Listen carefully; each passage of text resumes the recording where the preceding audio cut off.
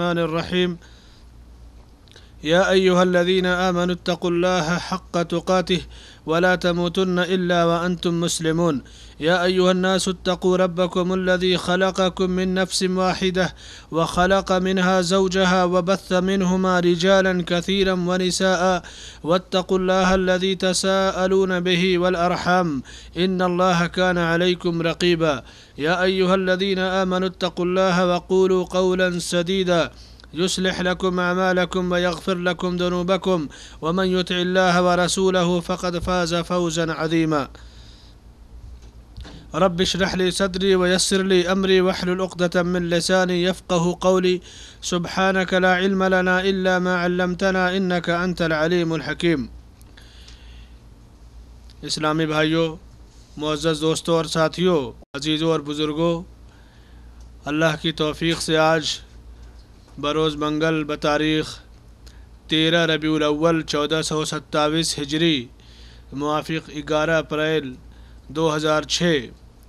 मकतब दावा, व अलजुबैल के ज़ेर अहतमाम हम इस लाइब्रेरी हाल में वसीला के मौजू पर गुफ्तगु करने के लिए इकट्ठा हैं।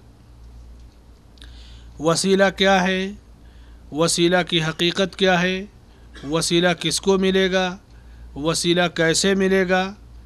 वसीला जायज़ है, वसीला नाजायज़ भी है, वसीला सुन्नत भी है, वसीला अफजल भी है, वसीला शिरक भी है, वसीला के बहुत सारे दर्जे, बहुत सारी किस्में हैं।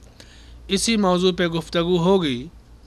आज चाँद पर पहुँचने वाला इंसान खलाओं में और राकेटों में घूमने वाला इंसान अपने घर की छत पर सीढ़ियों के बग़ैर न पहुँचने का शिकवा करके बुज़ुर्गों के वसीले की दुहाई देता है। ये वही इंसान है जो चाँद पर तो बेसीढ़ी के पहुँच गया, मगर अपने घर की छत पर शायद नहीं पहुँच पा रहा है। बहरहाल, इस तरह की चीज़ें बतौर हजत पेश की जाती हैं। दोस्तों, आप तो जानते हैं कि गुज़श्त चंद सालों से या तकरीबन डेढ़ दो साल से हमने यहाँ पे मुख्तलिफ़ मौजूद पे लेक्चर और उनकी रिकॉर्डिंग का जो सिलसिला शुरू किया, अल्लाह की तौफीक से अल्लाह ने उसमें बड़ी बरकत दी और गुज़श्त हफ़्ते एक साहब ने बताया कि जुबैल की हमारी बात जो केस्टें हैं, जो रिकॉर्ड की गई साथियों के ज़रिए बरतानिया में कोई वेबसाइट है? जब उन्होंने उसे ऑन किया तो देखा कि जुबैल दावा सेंटर की केस्टें वहाँ से रिलीज़ हैं। तो ये सब चीज़ें अल्लाह की तौफीक से है और कबूलियत की अलामत है कि कैसेट यहाँ फैलती है, रिकॉर्ड होती है और दुनिया के मुख्तलिफ़ गोशों में पहुँच जाती है। अल्लाह से दुआ है कि अल्लाह ताला हमारी इन मेहनतों को कबूल फरमाए और इस दावत की कबूलियत के सिले में जन्नतुलफ़िरदौस अता फ़रमाए, हमारी नीयतों में खलूस और अमलों में लाहियत अता फ़रमाए। इससे पहले जन्नती औरत या मिसाली शवहर या इसी तरह से नज़र बद और इलाज, वालदेन के हकूक़ कब्र के हालात, मौत की याद या रिज़्क़ की कुंजियाँ, उसवा हसना, ये सब मौजूद यहाँ छेड़े जा चुके और उनकी रिकॉर्डिंग भी हुई सीडी उसकी मौजूद भी है और अल्हम्दुलिल्लाह दुनिया के मुख्तलिफ़ गोशों में वो चीज़ें पहुँच चुकी हैं और अभी दो दिन पहले जो गुफ्तु हमारी हुई थी मोहब्बत रसूल सल्लल्लाहु अलैहि वसल्लम के ताल्लुक़ से, वो सीडी अभी नहीं आई है। आज की जो हमारी गुफ्तु है, वो वसीला की हकीकत। इस मौजू पे गुफ्तु होगी। अल्लाह ताला जजाय खैर दे। इस मौके से सबसे पहले हम अल्लाह रब्बुल आलमीन की बारगाह में शुक्रिया अदा करते हैं कि अल्लाह की तौफीक ही से ये काम हो रहा है। और ममलकत सऊदी अरब का एक मिसाली दावा सेंटर, जुबैल दावा सेंटर के हम शुक्रगुजार हैं। उसके ज़िम्मेदारान के, कि उन्होंने दावत का एक खुला हुआ मैदान और खुली हुई आज़ादी अता फरमाई। और दोस्तों में सुहेल मसूद साहब अल्लाह उन्हें जजाय खैर दे, जो मुस्तकिल तौर से जुबैल के कुलिया में, जो कुलियतुलजुबैल सनाइया उसमें मुस्तकिल लेक्चर भी हैं, लेक्चरर भी हैं, और जब भी कहीं रिकॉर्डिंग और उसके बाद नशर इशात का मामला है, पहुँच जाते हैं और पूरी दिलजमई से काम लेते हैं। और आप तमाम लोगों का शुक्रिया कि आप तमाम लोग दुरूस या इज्तमात में बड़ी दिलचस्पी से, मुस्तैदी से शिरकत करते हैं और उनकी इशात में पूरा पूरा हिस्सा लेते हैं। अल्लाह ताला हर एक की कोशिश को कबूल फरमाए और इन आमाल की कबूलियत के सिले में अल्लाह हमें जन्नतुलफ़िरदौस अता फ़रमाए। आमीन। गुफ्तु का मौजू है वसीला। वसीला क्या है? वाव सीन ये लाम है। वसीला या अगर अरबी में तो अलवसीला गोलते हो जाएगी। इसका माना है कि बरेजा व रगबत, किसी का कुर्ब हासिल करना, अपनी मर्ज़ी से, अपनी ख्वाहिश से किसी से कुर्बत हासिल करना। बंदे के लिए अल्लाह की कुर्बत से बड़ी कौन सी कुर्बत हो सकती है? अब हर बंदा चाहता है कि वो अल्लाह से कुर्बत अख्तियार करे, अल्लाह से करीब हो जाए। तो अब अल्लाह से कुर्बत अख्तियार करने में बंदों ने अलग अलग रास्ते अख्तियार कर लिए। किसी ने वसीले का हकीकी मफहम समझ कर के क़ुरबत अख्तियार की। किसी ने वसीले को कुछ और समझ लिया। पहुँचना तो अल्लाह तक चाहता है, लेकिन तरीक़ा उसने नाम वसीले का लिया और थोड़ा सा उसमें गड़बड़ी कर दी। कुरान में दो जगह वसीले का लफ्ज़ वारिद है। पहली जगह, या अयुहल्लदीन आमनुत्तकुल्लाह वबतगु इलैहिल वसीला वजाहिदु फ़ी सबीलिही लअल्लकुम तुफलिहून। ईमान वालो, अल्लाह से डरो और उसका कुर्ब तलाश करो। उसकी कुर्बत तलाश करो, अल्लाह की राह में जहाद करो ताकि तुम कामयाब हो जाओ। दूसरी जगह अल्लाह ने फरमाया कि उलाइकल्लदीन यदऊन इला रब्बिहिमुल वसीलत अय्युहुम अक़रब व यरजून रहमतहु व यखाफून अज़ाबह इन अज़ाब रब्बिक कान महदूरा ये वो लोग जो अपने रब की, के तकर्रब की जस्तजू में हर आदमी चाहता है कि कौन रब से ज़्यादा करीब हो जाए या ज़्यादा नज़दीक हो जाए, अल्लाह से डरते हैं, अल्लाह की रहमतों की उम्मीद करते हैं। ये वसीला इन दो मानों में कुरान में वारिद है। पूरे कुरान में दो जगह ये लफ्ज़ वारिद है। और असल जो बंदे का वसीला है, वही क़ुरब है, तकर्रब है। अल्लाह की क़ुरबत और अल्लाह की क़ुरबत के लिए जानता है आदमी कि कैसे अल्लाह के यहाँ करीब हुआ जाता है। अल्लाह की क़ुरबत के लिए अल्लाह ने जो आमाल, जिन आमाल का हुक्म दिया है, उनको बजा लाना और अल्लाह की क़ुरबत हासिल करना। बिल्कुल वाज मिसाल है। हदीसों में वसीला एक और माने में मुस्तमल है। वो क्या है? वसीला जन्नत में एक दर्जा और मकाम का नाम है। कुरान में है तो तकर्रब और कुर्ब के माने में। वसीला इन दो मानों से हट करके आप देखिए, जब अजान होती है तो अजान के बाद क्या है? अल्लाह के रसूल वसल्लम पे सलाम भेजे और क्या कहेंगे? नबी वसल्लम फरमाते कि इदा समय तुमुलमुअद्दिन फ़कूलु मिसल मा यक़ूल जब अजान सुनो तो क्या कहोगे? जैसे मुअज्जिन कहता है, तुम वो कलमात दोहराओ। इतना तो आप जानते हैं। तुम मसल्लु अलैहि फिर मुझ पर दरूद सलाम भेजो, दरूद भेजो, और उसके बाद उसका फ़ायदा क्या होगा? आपने फरमाया कि मन सल्ला वाहिदा, मन सल्ला अलैया फ़िन्नहु सल्ला अला सल्ला अलैया वाहिदा सल्लल्लाहु अल्लाह ताला उस पर दस बार दरूद भेजता है। एक बार नबी पे दरूद भेजोगे, अल्लाह दस बार दरूद भेजेगा। और उसके बाद फिर तुम मेरे लिए अल्लाह से वसीला तलब करो। वसीला एक दर्जा और मकाम है जो अल्लाह के बंदों में से बंद, किसी बंदे को मिलेगा या अल्लाह के बंदों के लिए है। और मुझे उम्मीद है कि वो वसीला मुझे मिलेगा। और जिसने मेरे लिए अल्लाह से वसीले की दुआ की, उसके लिए मैं उसकी शफात करूँगा। मेरी शफात उसके लिए हलाल हो गई। यानी ऐसा नहीं कि मेरा वसीला पकड़ो। मुझे दुआ करो मेरे लिए कि अल्लाह मुझे वसीला अता फरमाए। हदीस के अल्फाज देखिए, अल्लाह के रसूल वसल्लम फरमाते हैं कि सुम मसल्लाह ली अलवसीला ये नहीं कहा कि बी, ली अलवसीला मेरे लिए वसीला, क्योंकि वसीला एक नेमत है, एक मकाम है। दुआ करो कि अल्लाह मुझे वो नेमत अता फरमाए। और उसके बाद फ़िन नहा मंजिलतन फिल जन्नह। वसीला जन्नत में एक दर्जे और मकाम का नाम है। अब सोचो, एक जगह वसीला तकरब के माने में है, दूसरी जगह जन्नत में दर्जे और मकाम के माने में है। लेकिन उसके बावजूद वसीला को, वसीला के लफ्ज़ के साथ या वसीला के माना व मफहम के साथ कितनी ज़्यादती की गई? दुनिया में हर शख्स वसीले का मोहताज है। है कि नहीं? वसीला अल्लाह की कुर्बत। कौन आदमी है जो अल्लाह से कुर्बत नहीं चाहता है? हर शख्स वसीला का मोहताज है। वसीले ही से बंदे को निजात मिलेगी।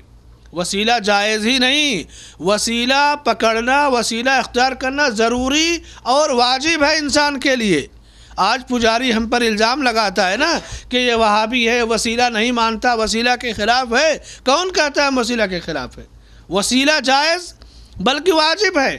नबी ने क्या फरमाया कि मेरे लिए अल्लाह से वसीला मांगो। एक तो नबी का हुक्म है, मानना वाजिब है।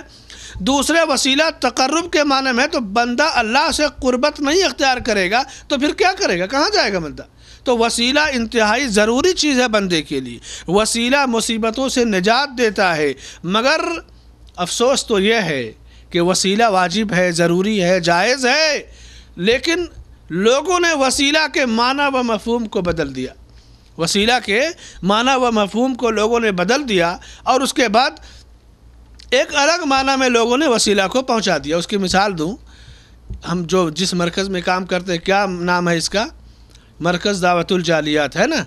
जालियात का माना, अरबी का लफ्ज़ है, वाफिद, यानी बाहर से जो लोग आए हुए हैं, उनमें दावत तबलीग का काम। इंग्लिश में क्या तर्जमा है? फ़ारन गाइडेंस सेंटर, है ना? तो जालियात और फ़ारन, इंग्लिश में फ़ारन है और अरबी में जालियात है।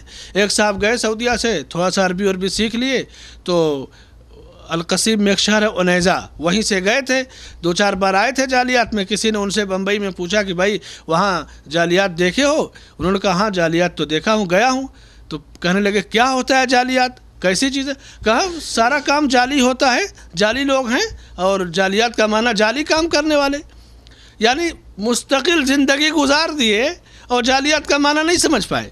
और दावा कर रहे हैं कि मैं जालियात से जुड़ा हूँ। और यही जो जैसे जालियात को लोग नहीं समझ पा रहे हैं ना, उसी तरह से ज़िंदगी गुजार दिया लोगों ने और वसीला का माना नहीं समझ पाए। वसीला को नहीं समझ पा रहे। और ऊपर से दूसरों को कहेंगे कि तुम नहीं समझते हो, वो नहीं समझता है। दुनिया में हर आदमी वसीले का मोहताज है। अल्लाह ने फरमाया, या अयुहन्नास अन तुमुलफ़रा वल्लाहमीद अय लोगो तुम सब अल्लाह के दरबार के फ़कीर हो भिकारी हो। और अल्लाह ताला ही मालदार है। फिर फरमाया कि या इबादी कुल्लुकुम दाल इल्ला मन हदत हदई तो अय बंदो तुम में का हर शख्स गुमराह है मगर वो जिसे मैं हिदायत दे दूँ तो, तो बस तुम मुझसे हिदायत तलब करो। तुम में का हर बंदा भूखा है, मगर वो जिसे मैं खिला दूँ, बस तुम मुझसे खाना मांगो। तुम में का हर बंदा नंगा है, मगर वो जिसे मैं पहना दूँ, बस तुम मुझसे लिबास मांगो। ये रवायत सही मुस्लिम की है। यानी बंदा अल्लाह से लिबास मांगे, अल्लाह से रिस्क मांगे और अल्लाह से हिदायत मांगे, है कि नहीं? और उसके बाद अल्लाह ने फरमाया अमन यजीबुलमतर इदा दआशफ़ुस्सू वयजलकुम खुलफा अर्द अल्लाह कौन है? अल्लाह के अलावा कौन है वो जो बेबस की पुकार सुनता है, बंदों से सख्ती को दूर करता है, ज़मीन का खलीफा बनाता है तुमको? क्या अल्लाह के अलावा है कोई हस्ती? उसके बावजूद इंसान बहुत कम नसीहत हासिल करता है। लेकिन बताया मैंने कि जिस तरह मुसलमानों ने नमाज़, नबी की नमाज़ पढ़ना छोड़ दी, नमाज़, नबी के नमाज़ से हट करके अलग नमाज़ का तरीक़ा ईजाद कर लिया।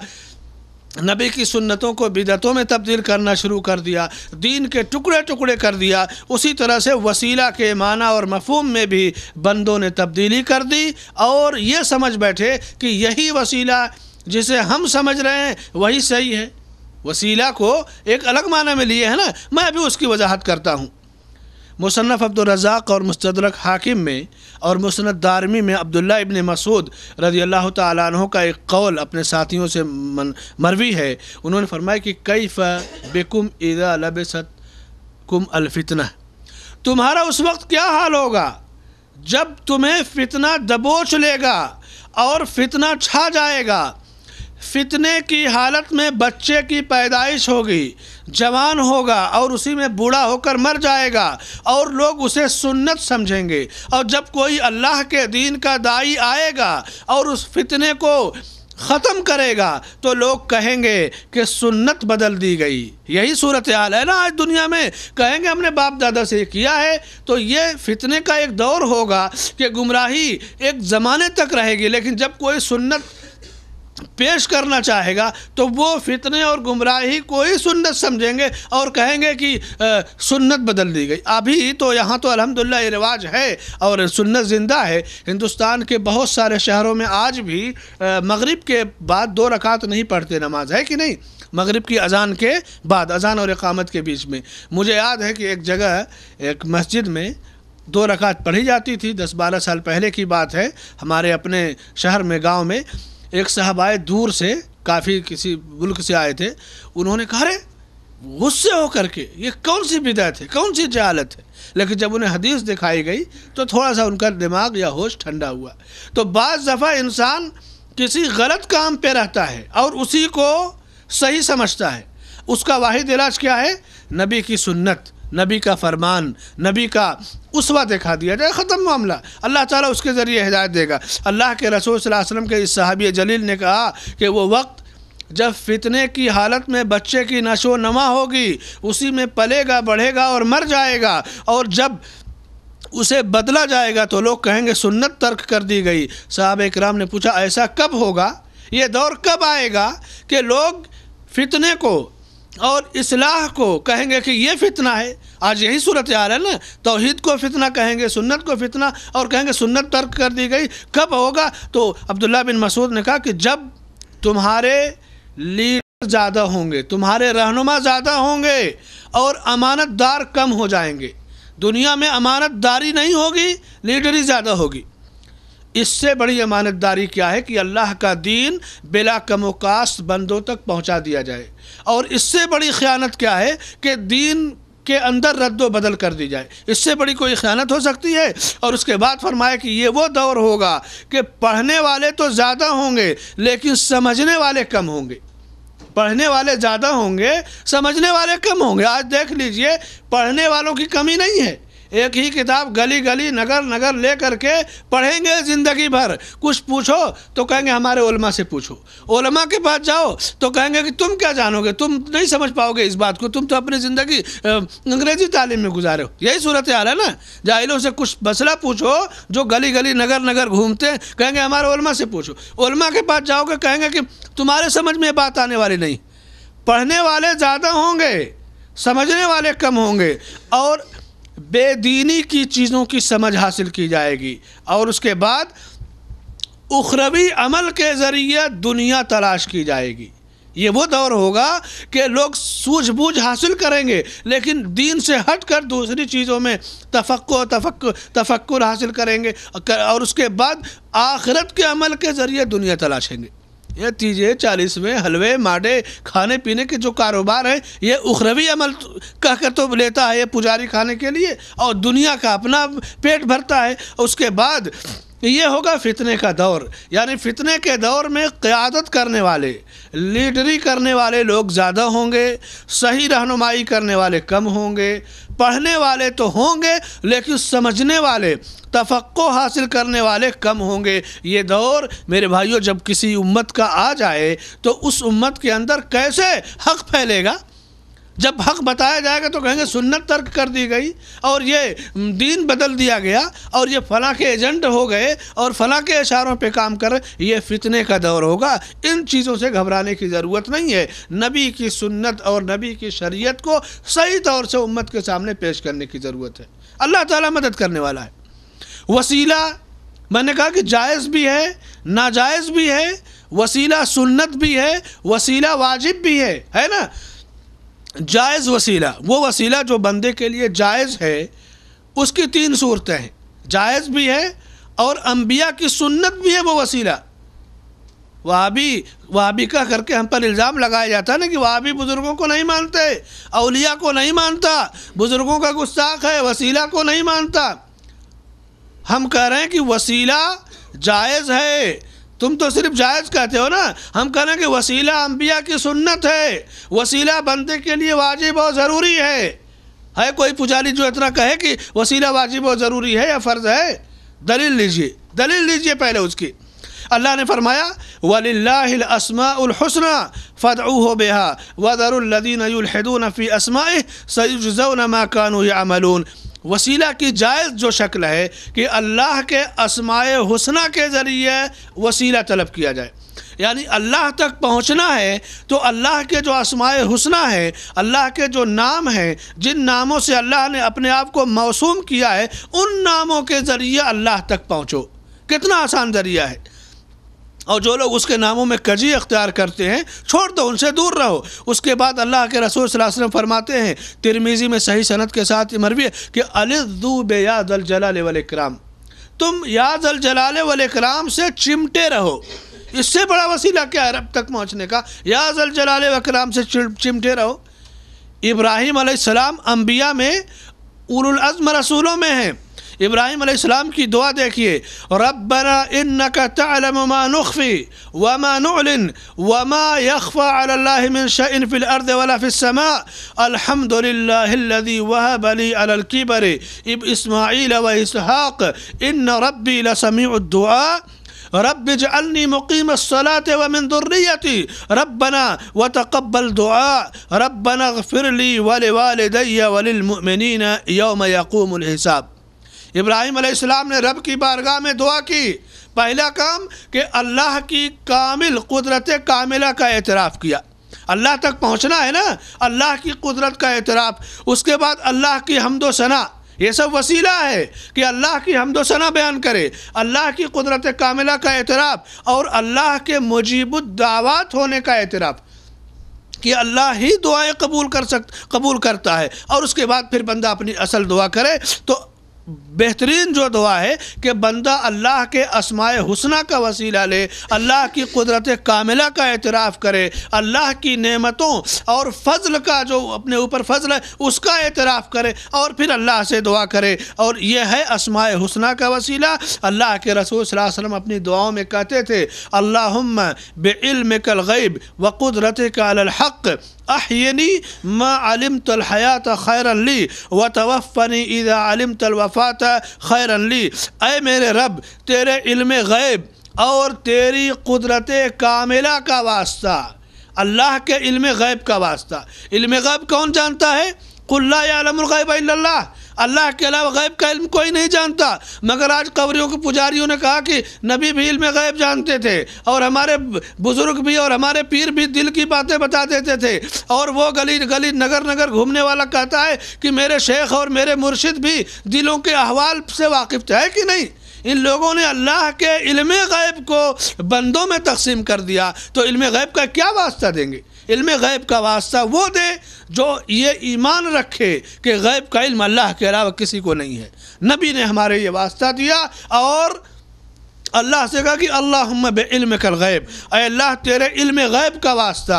व कुदरत का हक़। और हक पर कुदरत जो तेरी है, उसका वास्ता देकर कहते कि जब तक दुनिया में मेरी ज़िंदगी मेरे लिए बेहतर है, मुझे ज़िंदगी अता फरमा। और अगर मौत मेरे लिए बेहतर है तो मेरे लिए मुझे मौत अता फरमा। यानी दुआ के लिए अल्लाह की कुदरत कामिला और इल्म गैब का वास्ता। यह है जायज़ वसीला। मुसनद अहमद जिल्द एक तीन सौ इक्यानवे और मुस्तदरक हाकिम और सही इबन हिब्बान में अब्दुल्ला इबन मसूद रज़ी अल्लाह से मरवी है कि अल्लाह के रसूल वसल्लम फरमाते थे कि जब किसी बंदे को परेशानी लाक हो, कोई मुश्किल लाक हो तो क्या करे? आज क्या कहेंगे लोग? परेशानी है तो जाओ फला जगह पे, फला दरगाह पे चले जाओ, औलाद मांग लो, फला जगह बेटा मांग लो अल्लाह के नबी वसल्लम फरमाते हैं कि जब कोई रंजो गम हो, कोई परेशानी लायक हो, कोई मुसीबत लायक हो तो क्या कहो?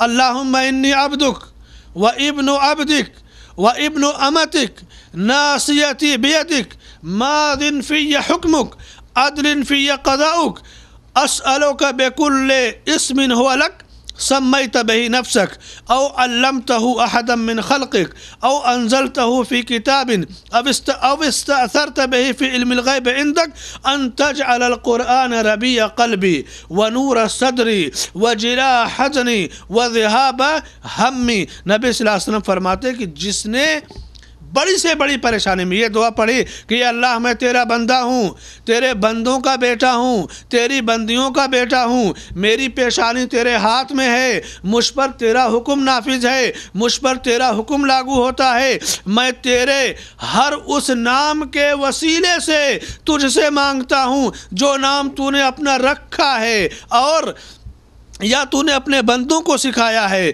या किताब में नाजिल कर रख, किया है, या इल्म या अपने पास ही वो नाम रखा है, बंदों को भी नहीं बताया उन तमाम नामों के वास्ते और वसीले से मैं तुझसे दुआ करता हूँ कि कुरान को मेरे दिलों की बहार बना दे, मेरे सीने का नूर बना दे, और मेरे रंजो गम के इजाले का सबब बना दे।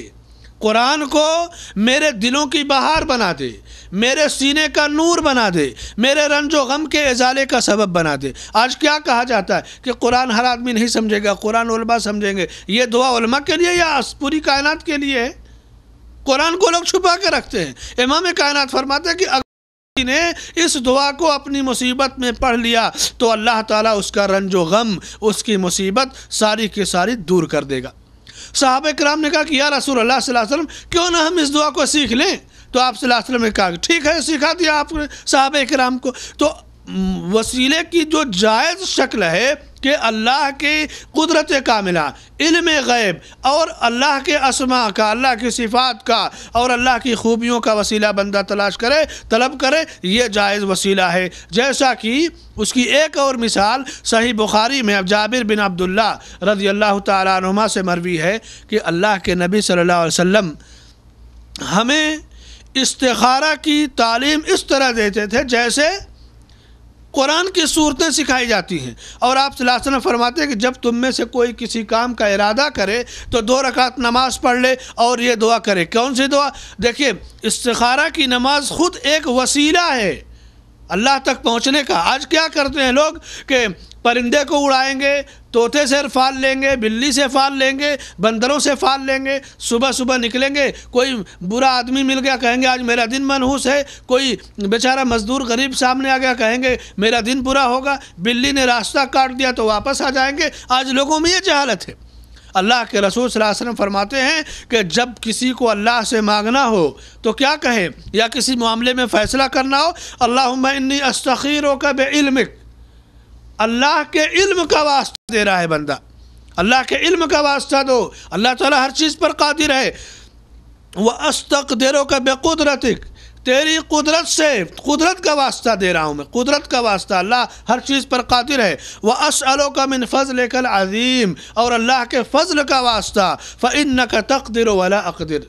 तू कुदरत रखता है, मुझे कुदरत नहीं है। वन का व तलम वाला आलम तू जानने वाला है, मैं नहीं जानता। व व अंत अल्लामगयूब तू गैब का इल्म जानता है। अल्लाह इन कुन तलम अन हाजल अमर खैरली फ़ी दीनी व माशी व आकबत अमरी।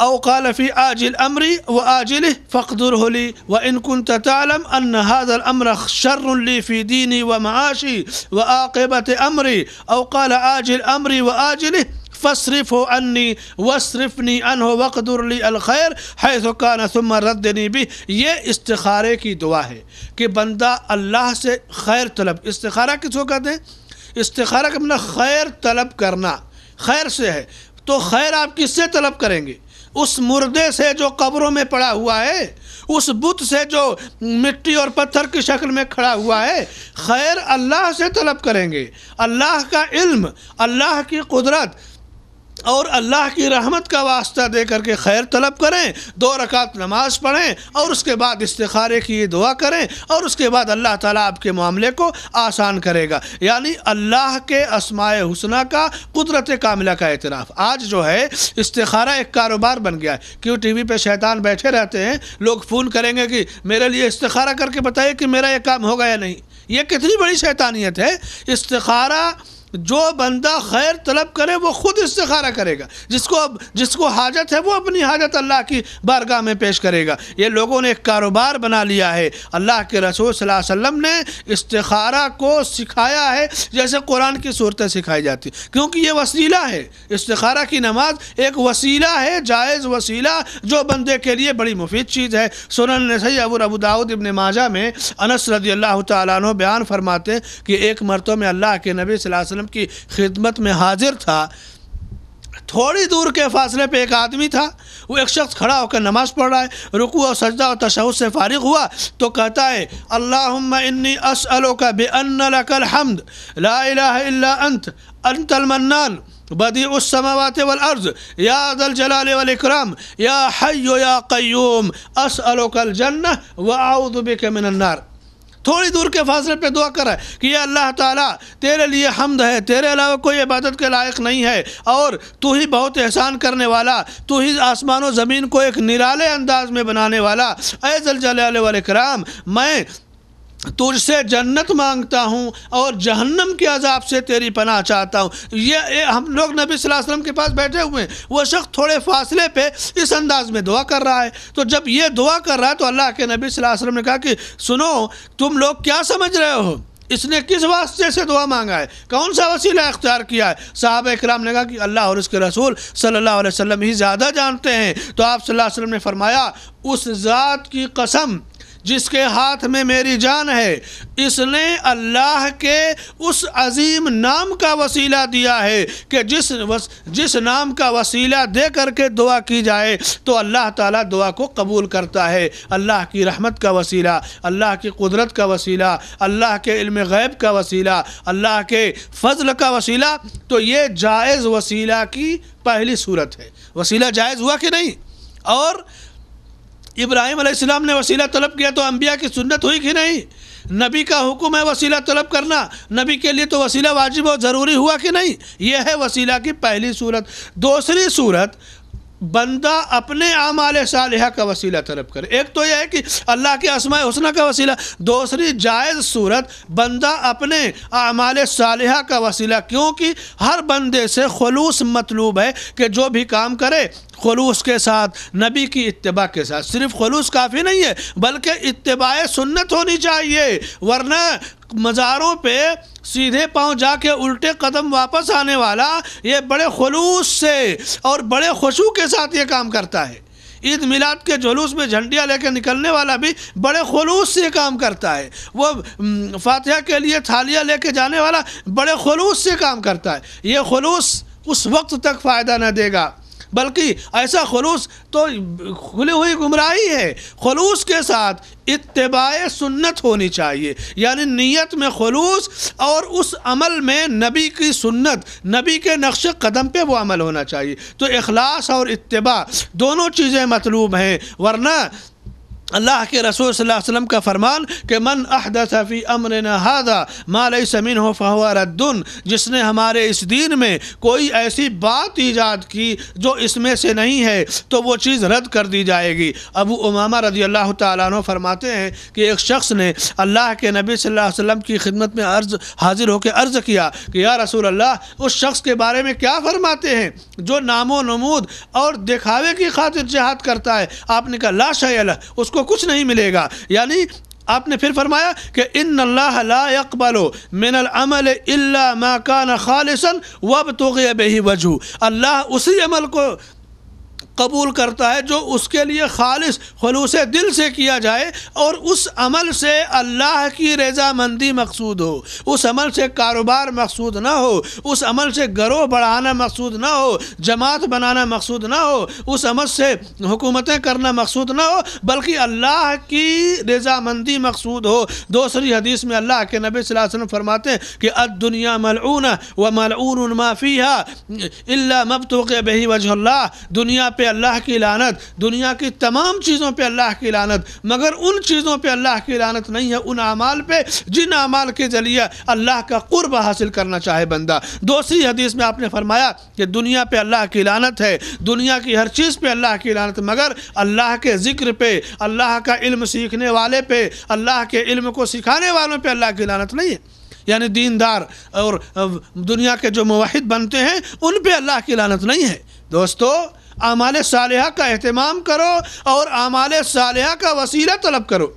जब आमाल साल नहीं होंगे तो बंदा किसका वसीला तलब करेगा? ये केबल ये डिश के सामने बैठ करके अपने वक्त को गुजारना, ये कैरम के पत्तों में अपने अवकात को गुजारना, ये गप शप और गीबत और चुगली की मजलिसों में अपना वक्त ज़ाय कर देना चाय के होटलों पे बैठ करके चाय पीते हुए गपशप और गिबत चोली करते हुए बंदा अपने अवकात को ज़ाय कर दे। ये कौन से अमाल हैं? क्या इन अमाल को तुम अल्लाह की बारगाह में पेश करोगे? ये अमाल तो तुम्हारी गिरफ्त का तुम्हारी मुसीबत का सबब बन जाएँगे। इसलिए अमाल साल का अहतमाम और ये भी जानो ये जारूब कशी ये चिल्ला कशी ये खाक नशीनी या ये सज्जादा नशीनी या ये आ, आस्ताना और दूसरी जो असलाह हैं कवाली रक्स हाल और वजद और समा, ये अमाल साल नहीं है। ये ऐसे अमाल नहीं है कि जिनका तुम अल्लाह की बारगाह में वसीला तलब करो। वसीला क्या है? अल्लदीन आमनु, अल्लदीन यकूलून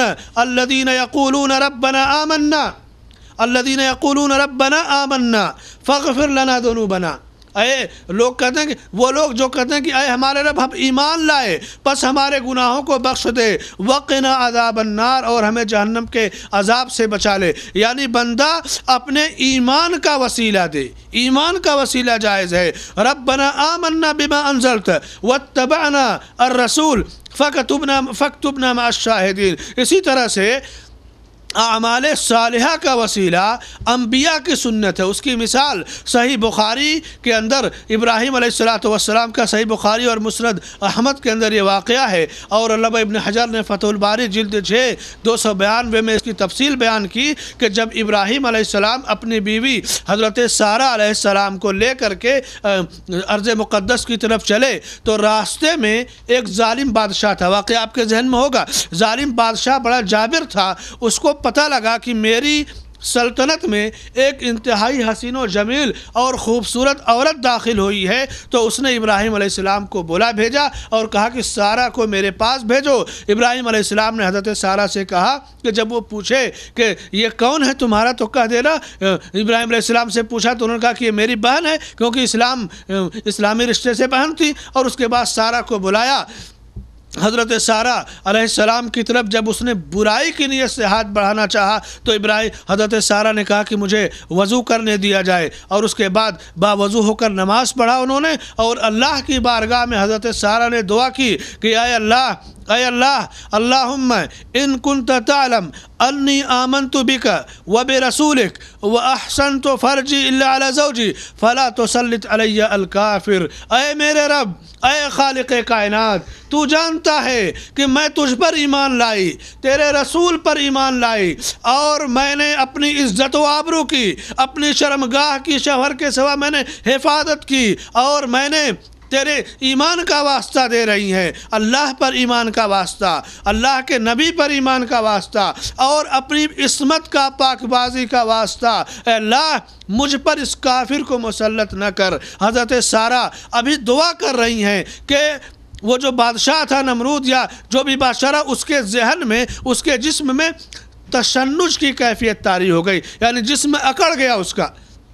और वो लड़खड़ाने लगा। तो हज़रत इब्राहिम को बुलवाया और कहा कि, इब्राहिम, मेरी जान बचाओ, ये किसे ले आए हो? और उसके बाद हज़रत सारा की, वहाँ पे अल्लाह ने इज़्ज़त आबरू की, हिफाजत की। तो बड़ी मुसीबत में हज़रत सारा ने आमाल सालहा का वसीला तलब किया और अल्लाह ने उस वसीले को कबूल करके इनकी इज़्ज़त आबरू को उस ालिम के शर से ालिम के जुल्म सितम से हिफाजत की। ये है वसीला, जायज़ वसीला।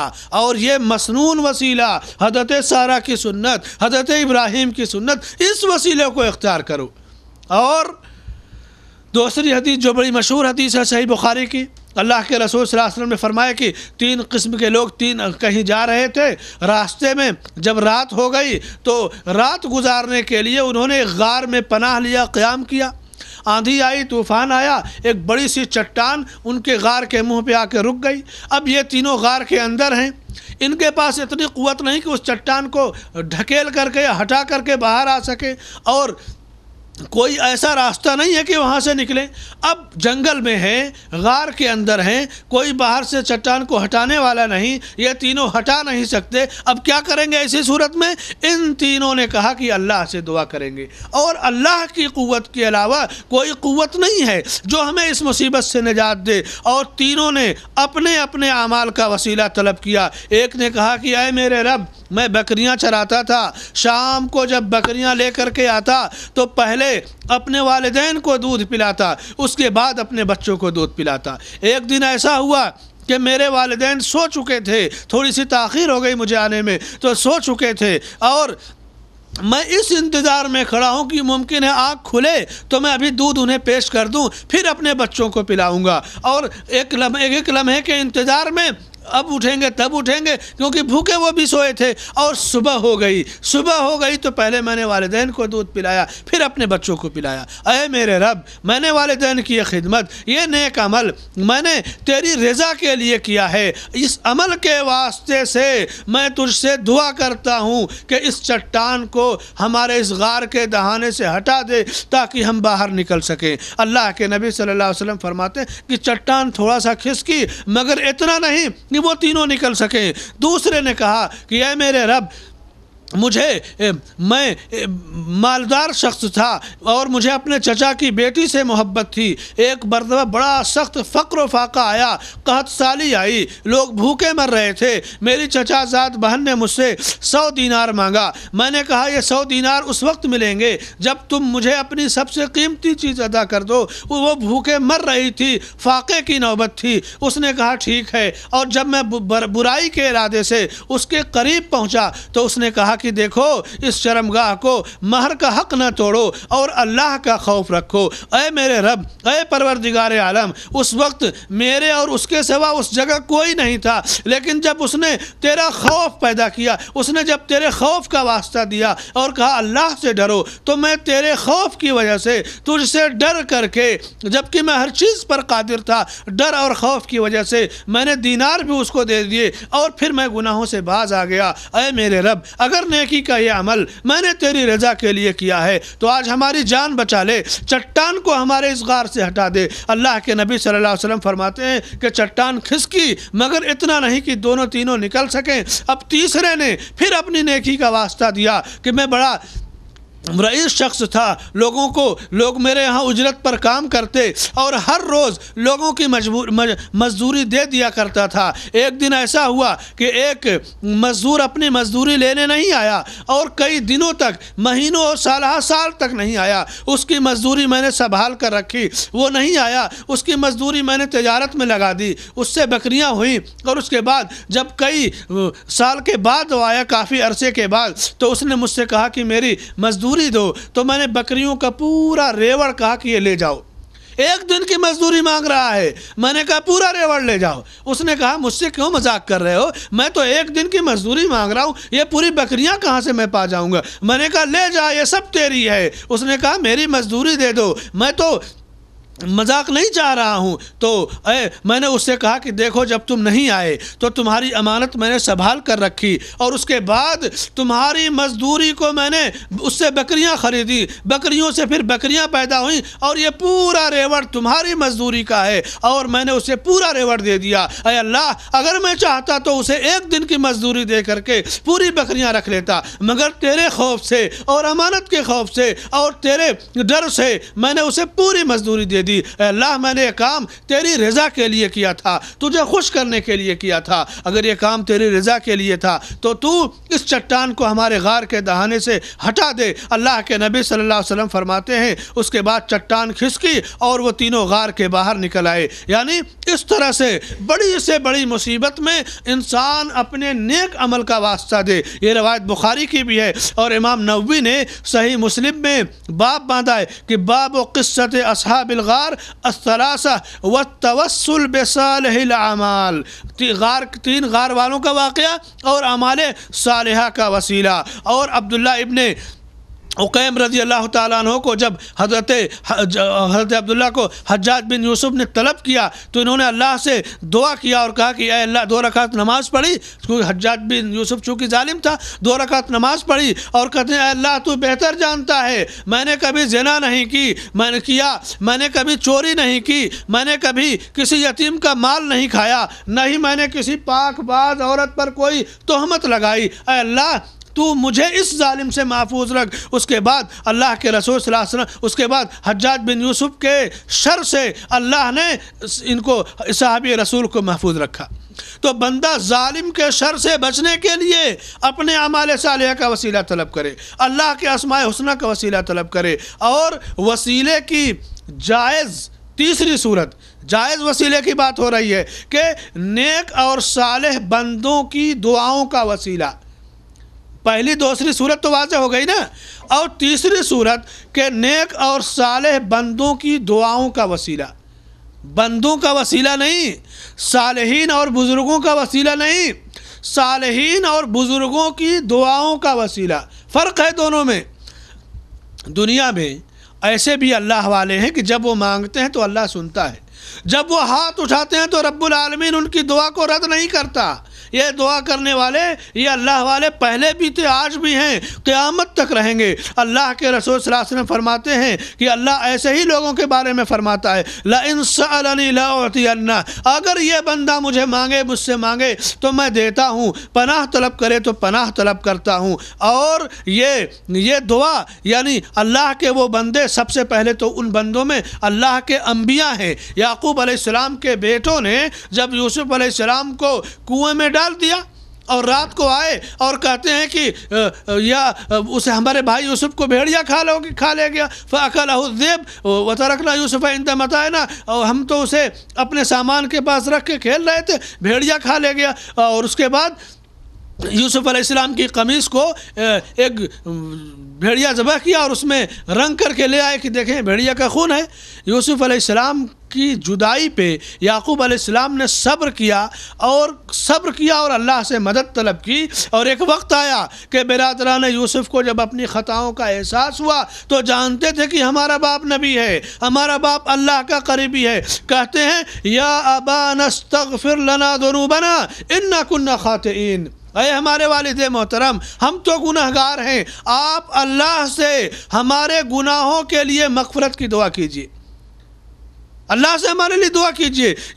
हज़रत याकूब अलैहिस्सलाम ने कहा, काल सौफ़ा अस्तगफिरुलकुम रब्बी, इन्नहु गफूर ठीक है, तुम्हारे लिए मैं अल्लाह से दुआ करूँगा। यानी यू याकूब अलैहिस्सलाम से नहीं करें कि आप हमारे गुनाह माफ़ कर दीजिए, बल्कि आप अल्लाह से हमारे लिए मगफरत की दुआ कीजिए। और याकूब अलैहिस्सलाम ने दुआ की अल्लाह से। तो इस तरह से नेक और साले शख्स की दुआ का वसीला। जैसा कि याकूब अलैहिस्सलाम के बेटों ने अपने बाप याकूब अलैहिस्सलाम की दुआओं का वसीला तलब किया। दूसरी दलील, ये तो दलील कुरान से हुई, नेक और सारे लोगों की दुआओं का वसीला। दूसरी दलील, अल्लाह के रसूल वसल्लम ने एक मरतबा साहब कराम से फरमाया कि मेरी उम्मत में सत्तर हज़ार लोग बिला हिसाब किताब जन्नत में जाएँगे। मशहूर हदीस आप जानते हैं ना?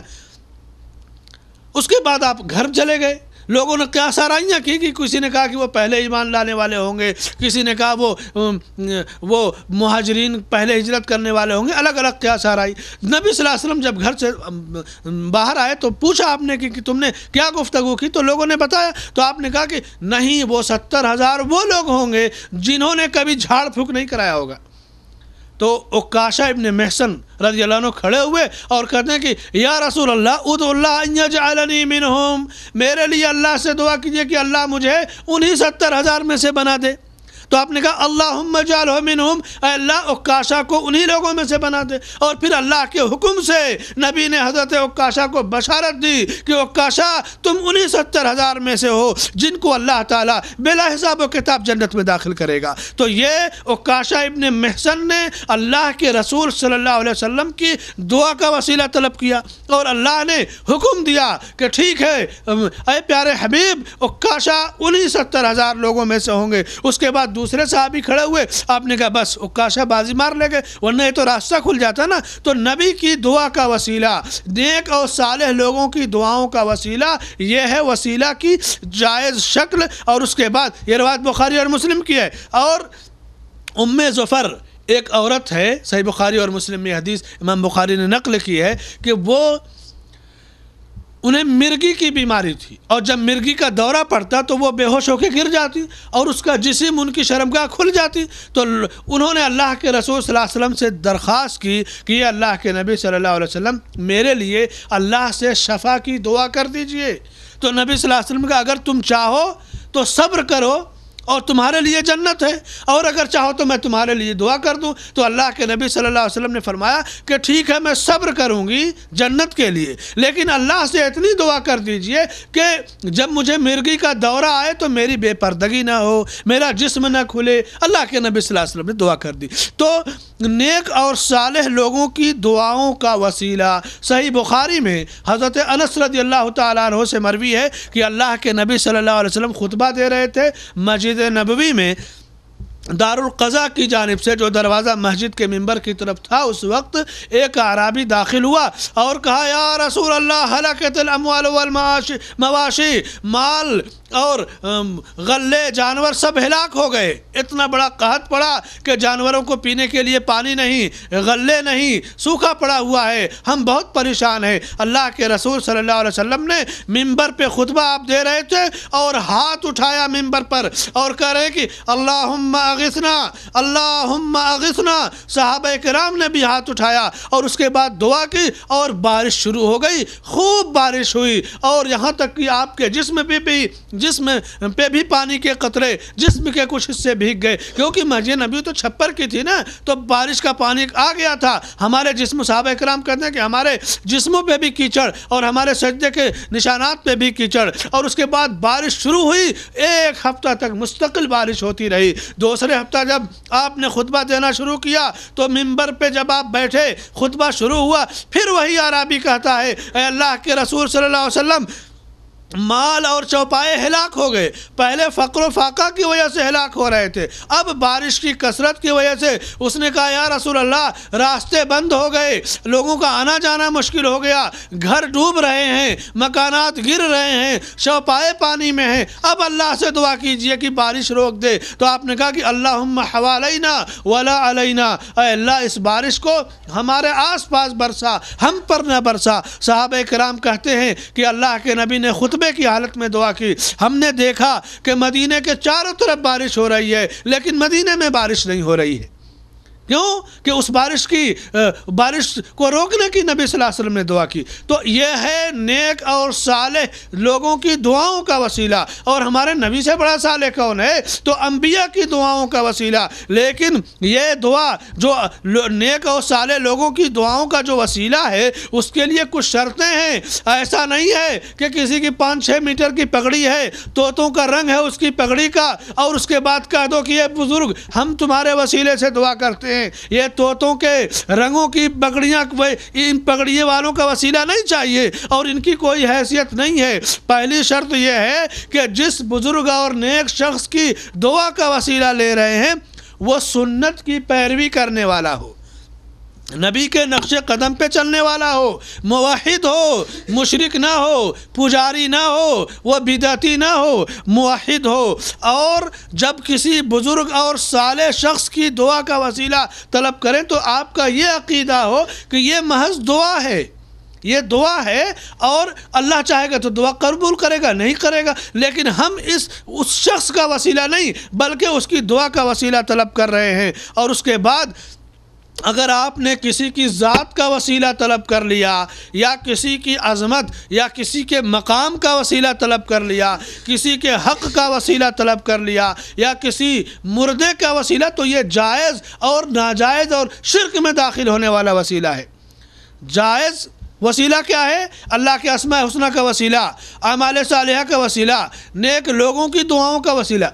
अब नेक लोगों की दुआओं में लोगों ने कहा कि ये बुज़ुर्ग थे, ज़िंदा हैं, वसीला तलब करते। मरने के बाद भी उनका वसीला तलब करना शुरू कर दिया। हालाँकि मरने के बाद कोई कितना बड़ा भी बुज़ुर्ग हो जाए, उसका वसीला नहीं तलब किया जाएगा। उसकी दलील आपको बताऊँ, सही बुखारी में इमाम बुखारी ने इस हदीस को नकल किया है कि अल्लाह के रसूल वसल्लम के ज़माने में तो जब कहत साली होती तो साहब कराम आपसे कहते कि दुआ कीजिए और आप दुआ करते, बारिश होती। नबी सल्लल्लाहु अलैहि वसल्लम की वफ़ात के बाद एक मरतबा मदीने में कहत साली आई। मदीने में नबी की मौत के बाद कहत पड़ा और उसके बाद क्या हुआ?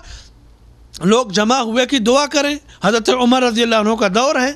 साहब कराम मैदान में हैं और अल्लाह के नबी दुनिया से जा चुके हैं। उमर रज़ी अल्लाह उन्होंने कहते हैं कि अल्लाह, जब दुनिया में तेरे नबी ज़िंदा थे, जब तेरे नबी बाकायद हयात थे तो हम तेरे नबी की दुआओं का वसीला लिया करते और तू बारिश बरसाता था।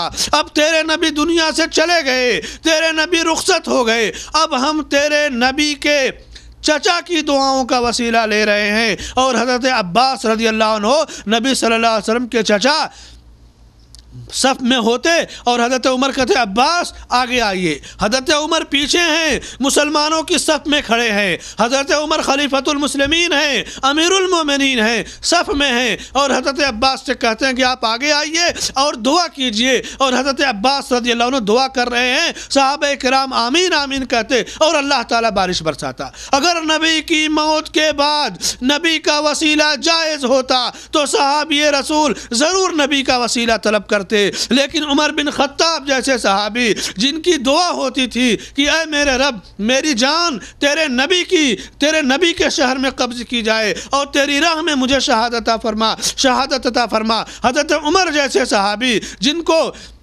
नबी ने दुनिया में जन्नत की बशारत दी। नबी की वफ़ात के बाद वो जानते हैं कि मरने के बाद किसी की दुआ का वसीला या किसी का वसीला नहीं जायज़ है। तो हज़रत नबी सल्लल्लाहु अलैहि वसल्लम के चचा का वसीला तलब कर रहे हैं। चचा की दुआ का और करें कि अल्लाह तेरे नबी के चचा की दुआओं का वसीला मांग रहे हैं। ये पुजारियों ने नबी की दुआओं का वसीला नबी के मरने के बाद भी शुरू कर दिया। और कहते कि नबी बुज़ुर्गों का सारे असल मसला नबी का और अम्बिया का नहीं है। असल खाने पीने का कारोबार इन पीरों का, वलियों का और इन इन मुजावरों का है कि फ़ला बुज़ुर्ग का वसीला, फ़ला दरगाह का वसीला, फ़ला का। और उसके लिए बाज़ अम्बिया का भी नाम उन्होंने ले लिया। वरना नबी की दुआओं का वसीला नबी की वफ़ात के बाद जायज़ और साबित नहीं है। ये वसीला जो मुर्दों का वसीला तलब करते हैं। यह मुशरकिन मक्का का वसीला था। जब अल्लाह के नबी ने मुशरकिन मक्का से कहा कि तुम बुतों को क्यों पूजते हो तो कहते हा उला शफ़ा इंदल्ला ये हमें अल्लाह से करीब कर देंगे। माना बदहम जुल्फ़ा। हम तो इन्हें इसलिए पूछते हैं कि हमें अल्लाह से करीब कर देंगे। यानी किसी के मरने के बाद उसकी कब्र पर जा कर के वसीला तलब करना यह मुशरकिन मक्का का अमल था। और किसी के मरने के बाद और ज़िंदा लोगों से, ज़िंदा लोगों के अमाल साल का वसीला तलब करना यह हज़रत उमर बिन ख़त्ताब रज़ी अल्लाह तु का वसीला था। और अल्लाह के नबी अपनी ज़िंदगी में कहते अल्लाह गसना अल्लाह गसना ये हमारे नबी की दुआ थी। ये नहीं कहते कि कब्रों पर बुज़ुर्गों का वसीला पीरों का वसीला, मलंगों का वसीला और हरी पगड़ियों का वसीला। ये लोगों की आँखों में धूल झोंकने वाले लोग हैं। और ये क्या, इनका मक्र क्या है, बहाने क्या बनाते हैं, जानते हैं? वसीला की, ये तो जायज़ शक्लें मैंने बताई। और ये लोग जो दरगाहों का और मुजावरों का जो वसीला है, वो कहते हैं कि देखो आदम अलैहिस्सलाम जब जन्नत के शजर ममनुआ का फल उन्होंने खा लिया तो उन्होंने नबी के वास्ते से दुआ तलब की और कहा कि अय अल्लाह, मैं तेरे नबी मोहम्मद के वसीले से दुआ कर रहा हूँ। ये कितनी बड़ी मनगढ़ंत चीज़ है कि आदम अलैहिस्सलाम नबी के वसीले से दुआ करें। आदम अलैहिस्सलाम की दुआ और तौबा और इस्तगफार अल्लाह ने बयान किया। आदम सलाम ने जब जन्नत का, उस दरख्त का फल खा लिया, जो ममनू था तो उनको अपने गुनाहों का एहसास हुआ तो कहते हैं रबना दलमना अनफुसना व इल्लम तगफिर लना व तरहमना लनकूनन मिनल अय हमारे रब, हमने अपनी जानों पर जुल्म किया। अगर तू हमारी मगफरत नहीं करेगा, तू हमारे गुनाहों को नहीं माफ़ करेगा, तू हम पर रहम नहीं करेगा तो हम खसारा उठाने वालों में होंगे। आदम सलाम ने रब से दुआ की, मगफरत की और अल्लाह की रहमत तलब की, तोबा और इस्तफ़ार किया, और अल्लाह ने उनकी दुआ को कबूल किया। तो ये ये जो मौजू और मनगढ़ंत बातें पेश करते हैं कि नबी का वसीला तो आदम ने तलब किया तो हमको करने में क्या है? नबी का वसीला आदम ने नहीं तलब किया। आदम सलाम ने अल्लाह से दुआ की, कुरान में आदम सलाम की दुआ, और उनका पूरा वाक़ मौजूद है। तुम कुरान को क्यों झुटलाते हो? अपने मक्र को साबित करने के लिए आदम सलाम की तरफ़ झूठ मनसूब करते हो? अच्छा दूसरी दूसरी चीज़, इन पुजारियों ने हदीसें भी गढ़ दी, मौजू और मुनकर हदीसें, जैसे एक चीज़ गढ़ करके कह दिया कि नबी ने कहा, जैसे तवसलु बेजाही फ़िन जाही इंदल्ला अजीम, कि तुम मेरे मकाम का वसीला तरफ़ करो, इसलिए कि मेरा मकाम अल्लाह के यहाँ बहुत बुलंद है। नबी के मकाम का वसीला तलब करना, ये कहाँ की अमानतदारी? एक तो मन गलत चीज़ है, दूसरी चीज़ के नबी के मकाम का हमें एतराफ़ है। ये वहाँ भी वहाँ भी का ताना देखे, कहते हैं कि देखो ये लोग नबी को नहीं मानते, नबी का वसीला नहीं तलब करते। नबी का मकाम तुम्हें मुकर करने की क्या ज़रूरत है? अरश वाले ने कहा कि वरफ़ाना का ज़िक्रक, हमने आपका ज़िक्र बुलंद कर दिया है। तेरे वसीले से, तेरे खाने पीने के कारोबार से नबी का मकाम नहीं बुलंद होगा। ये मिलाद में झंडियाँ लगाने से, या रसूल अल्लाह का नारा लगाने से नबी का मकाम नहीं बुलंद होगा। नबी का का मकाम तो अर्श वाले ने कहा कि असा अब असा का रब का मकाम महमूदा वरफ़ाना वरफ़ाना रखा ज़िक्र अर्श वाले ने नबी का मकाम बुलंद किया है। तो नबी के मकाम, मरतबे का हर मुसलमान को एतराफ़ है। हमको किस बात पर एतराज़ है कि नबी के मकाम, मरतबे का वसीला ये नाजायज़ है, ये दुरुस्त नहीं है। नबी के मकाम, मरतबे का एतराफ़, उसको कबूल करना, उसे तस्लीम करना यह तो हर मुसलमान का ईमान है। हर मुसलमान का ये फ़र्ज़ है। व रफ़ाना का ज़िक्र में नबी का मकाम अल्लाह ने बयान किया। तो लोगों ने क्या किया?